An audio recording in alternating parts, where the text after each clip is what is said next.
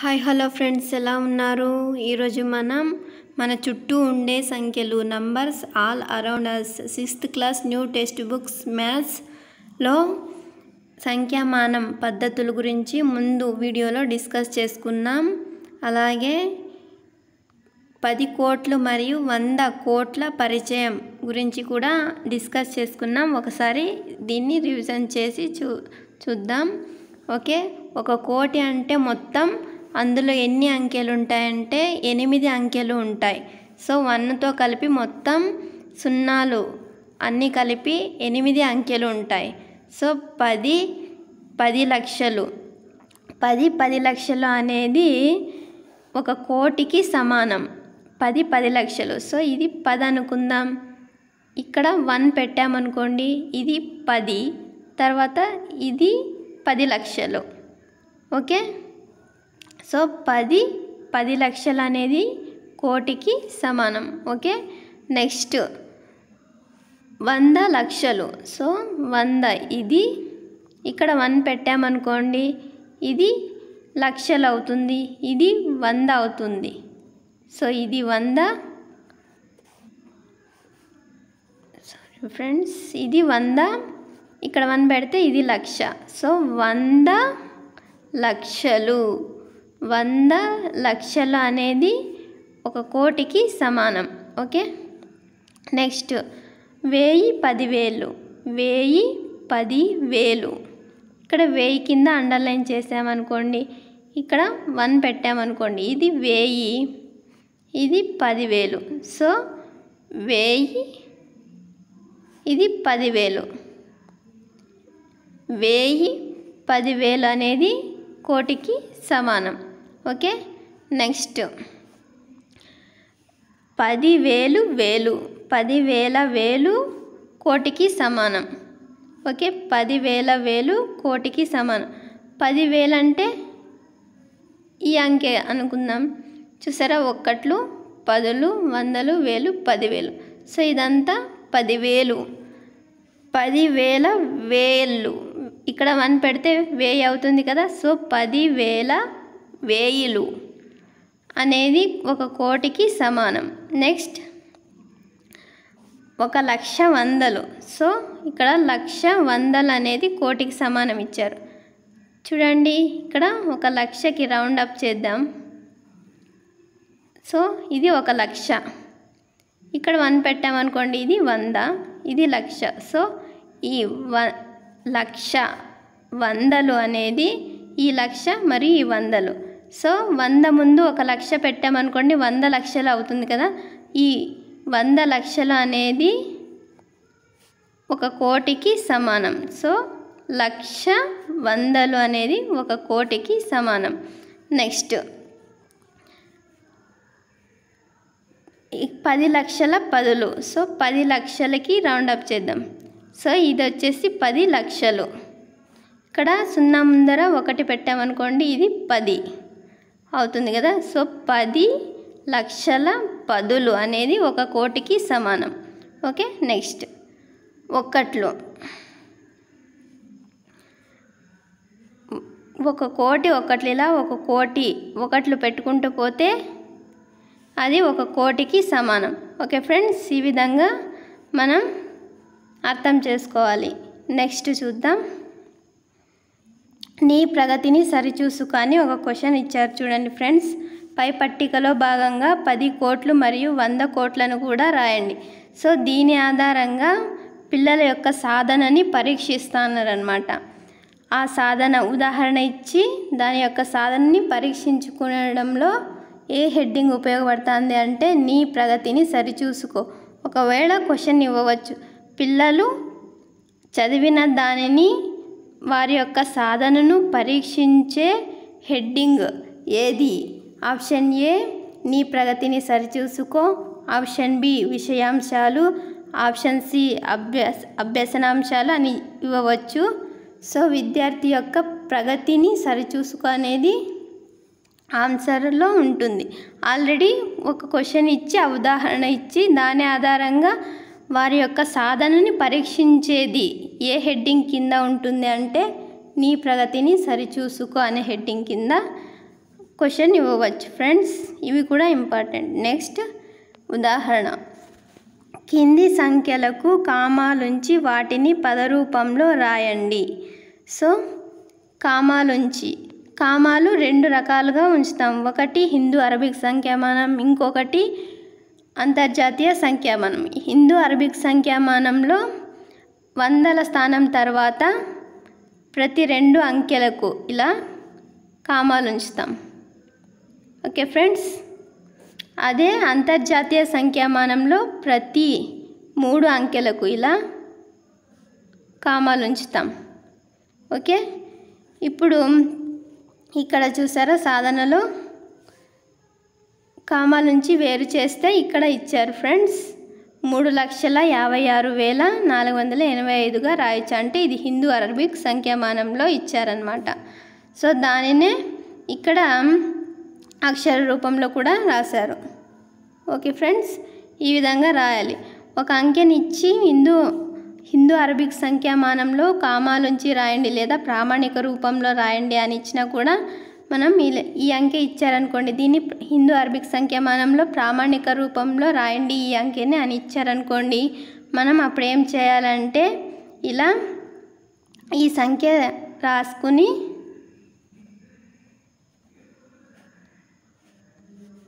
Sorry friends ఈ సంఖ్య ఇలా ఉంటుంది కదా ఆప్షన్ ఏలో ఇలా హిందూ అరబిక్ సంఖ్యామానం అంటే ఇలా ఇచ్చిండొచ్చు. ఒక ఆప్షన్లో. ఇంకొక ఆప్షన్లో ఆప్షన్ బి ఇచ్చి ఇలా seven zero five six seven zero ఇక్కడ కింద రాస్తున్నాను friends. Seven zero two seven two five. So వందల స్థానం తర్వాత కామ మళ్ళీ కామ ఇక్కడ రెండు అంకెల తర్వాత అలా కామ. ఇలా ఇస్తారు. సో మనం ఈ ఆప్షన్ని ఎంచుకోవాలి. హిందూ అరబిక్ సంఖ్యామానంలో ప్రామాణిక రూపం ఇది వచ్చేసి అంతర్జాతీయ సంఖ్యామానం. మూడు అంకెల ప్రతి మూడు అంకెల తర్వాత కామా ఉండేది అంతర్జాతీయ సంఖ్యామానం యొక్క ప్రామాణిక రూపం. ఇది వచ్చేసి వంద స్థానం తర్వాత రెండు ప్రతి రెండు అంకెలకి కామాలు ఉండేది హిందూ అరబిక్ సంఖ్యామానానికి ఉదాహరణ. సో మనం హిందూ అరబిక్ సంఖ్యామానం యొక్క ప్రామాణిక రూపం అని క్వశ్చన్లో ఇచ్చినప్పుడు మనం ఈ రూపంలో ఉండే ఆన్సర్ని ఎంచుకోవాలి ఫ్రెండ్స్ ఓకే? నెక్స్ట్ చూద్దాం.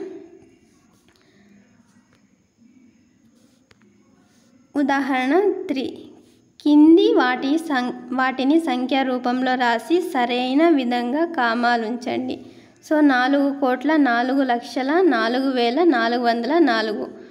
మనం ఫస్ట్ ఆఫ్ ఆల్ ఏం చేయాలి అంటే వి ఇక్కడ నాలుగు కోట్ల నాలుగు కోట్లు అంటే కోటి. ఎన్ని కోట్లు ఉన్నాయి నాలుగు కోట్లు ఉన్నాయి పదుల సంఖ్యల్లో కోట్లు అంటే డెబ్బై కోట్లు ఎనభై కోట్లు అలా లేవు కాబట్టి కోట్ల సంఖ్యలో ఒకటే ఉంటుంది. సో నాలుగు కోట్ల. ఓకే? కమ? నాలుగు లక్షల. సో పది లక్షల స్థానంలో ఏమీ లేదు. ఓన్లీ లక్షల స్థానంలోనే ఉంది. మనం ఇంకా ఈజీగా చెప్పాలి అంటే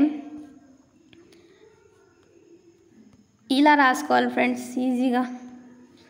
ఒక్కట్లు పదులు వందలు వేలు. One minute friends.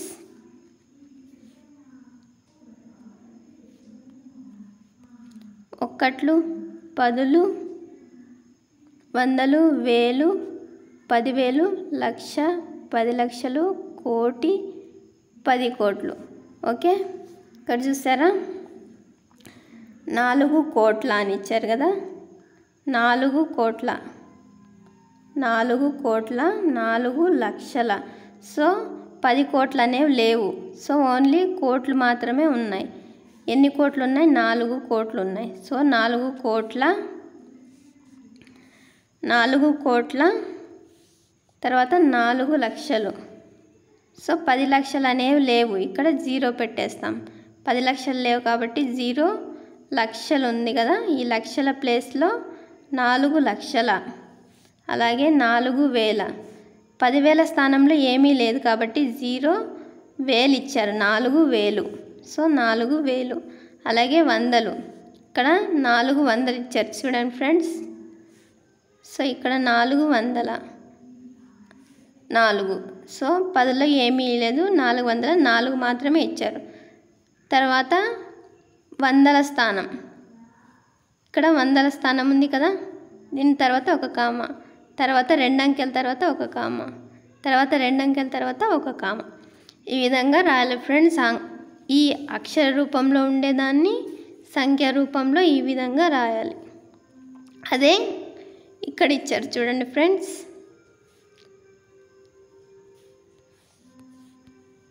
ఇక్కడ ఇచ్చారు చూడండి ఫ్రెండ్స్.